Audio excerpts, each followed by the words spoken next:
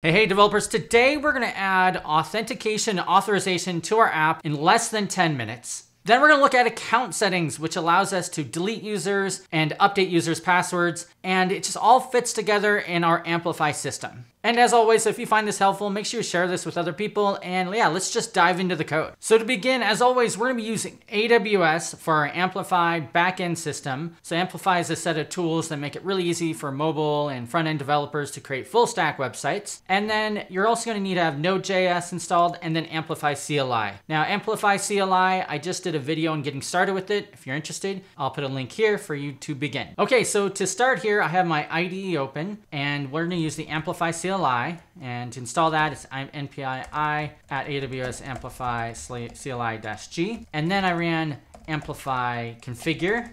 And now I went ahead and created an app. This is a React app. I did npx create React app, and then I followed the prompts. So now I have an, a React app here. So to start with, I'm gonna run amplify init, and this is gonna ask me a few questions about my app. I'm just gonna leave it all the defaults for now and hit Y for yes. And this will go ahead and create some provisioning for our Amplify account that we're gonna use for this app. Okay, so it successfully provisioned our backend to start with, but we really wanna do is add in auth. Amplify add auth, and we'll just do a default configuration and we'll use email. And then we can go ahead and push it. And it's gonna ask us one more question to make sure that we really wanna do it. We're gonna hit Y here, and then this is gonna go ahead and add in a backend system using Cognito which will be able to do our authorization and authentication. Okay, so great. We have our backend provision with Cognito. So I'm gonna go ahead and open up the folder. Okay, so you can see here, here is the folder open up in VS Code. In the source folder, you'll see I have this new file called AWS Exports, and this is a file that was generated by Amplify, which I'm gonna be able to use that connects to all my backend resources.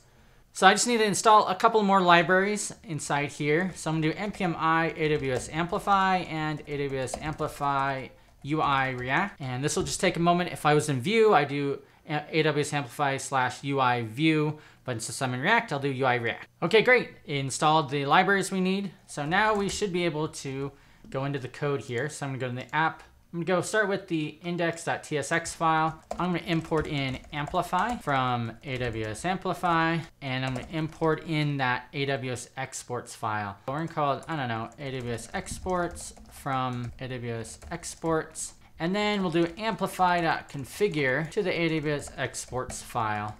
And this kind of connects everything up for that. Now inside my app TSX file, uh, this file uh, is where I'm going to have my authenticator. And we'll just assume that this is going to be, the whole app is going to be wrapped in the authenticator, meaning that you can only access any of the routes if you're authenticated.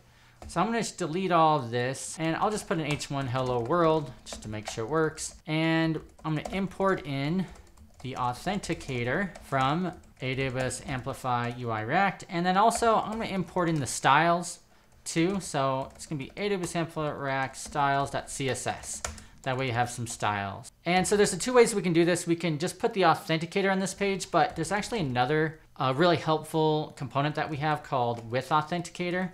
And so I'm gonna use that instead.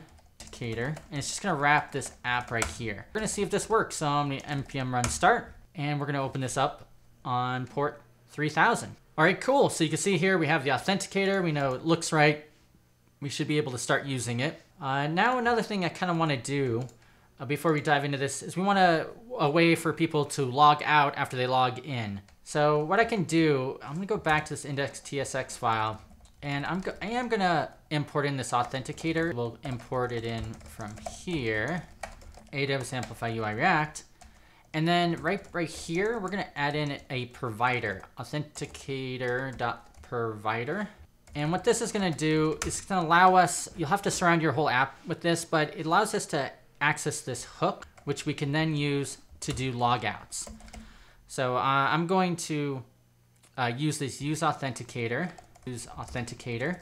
After someone's logged in, I want them to be able to log out. So I'm going to grab user, well, just do sign out equals from use authenticator.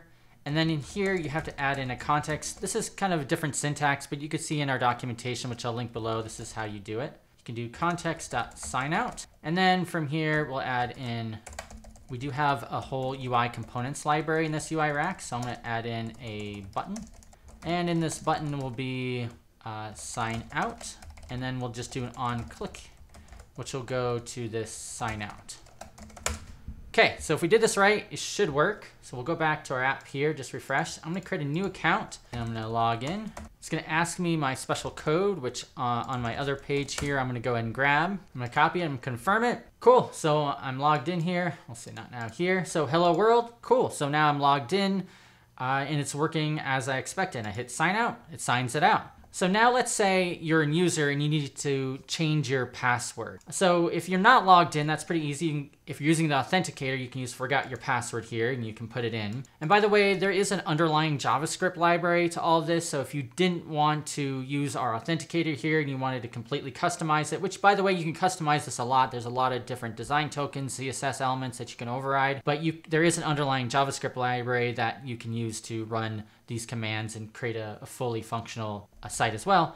But if you're logged in, it's a little bit more difficult. So I'll show you what we can do here. So after you log in, we're going to use one of our new, and I'll show you here in the documentation. It's called our account settings feature for Amplify. And it allows you to like kind of manage your account. And the first two things we added to it, and we're adding more, is change password. So let's add in this change password. So right under this, we're going to just add this in and we need to import it in. So we're going to add in account comma here, account settings. And then we have this handle success. So we can just kind of copy and paste this just to see how it works. But this will give us a message anytime this account settings happen. So this, let's say we want to change our password. So we went ahead and added that in there. I'm going to log in again with that old account I had. Log in. And cool, you can see right here, I have this current password, new password, confirm password. Obviously, uh, this is not looking great, but you can change the look and feel of it. You can completely override it. But let's see if it works. I'm gonna put in my current password. I'm gonna put a new password. You can see already it has, if you come to come over here, you have this button here to, you can see the password that you put in. I just put some dummy password. I can make sure I put in, put in again.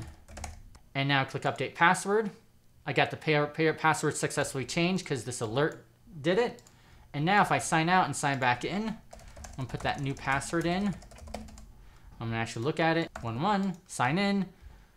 Cool. You can see it's working as expected and it works great. That's awesome. Uh, there's other a few other things you can do with this change password too. I can add in some custom validation. So if there's a certain, I don't want certain letters or I want to change the error message, I can do that through here, which is really nice. I can change the max length. Let me show you delete user as well. So this is another really handy one. And I'm just going to comment this out, add this in for delete user. It's gonna go to this handle success and we'll just change this alert message to has been successfully deleted. You can see here it also has some overriding default behavior. If you wanna do something before the handle delete happens, you can uh, add it in here you can actually completely customize the button and component as well. And you can do that too with the change password. But let's just see if this works first. So let's see if we can delete our user. So now if I click delete user, it's gonna give me a confirmation that my account is not reversible. And once again, you can completely customize this. I'm gonna click delete account. It says my account is delete, successfully deleted. And now if I try to log in again, it says user doesn't exist. So awesome. So now we've been able to delete users. We've been able to change the passwords. And what's really nice too, we can completely, like I said before, completely override the look and feel of our component. So if we needed to, we can change exactly what it looks like. Let, let's try to do that for this uh, delete account. So if we wanted to create a components uh, object here, so I'm gonna create something called components. And then inside the components here, I'm gonna return it, but I'm gonna pass in components as a prop. Add this in here. So it should have this new My Custom button. I'm gonna create a, account real quickly. Okay, so you can see I created an account, I logged in, now I have this new custom button. So if I click this, still goes to the same delete screen we had before, which is really, really neat. So you can see here account settings, very useful component, especially if you're using the Amplify component system. Let me know what your thoughts are below. Tell me what other things that you'd be interested to, for us to create. I'd be really interested. Thanks.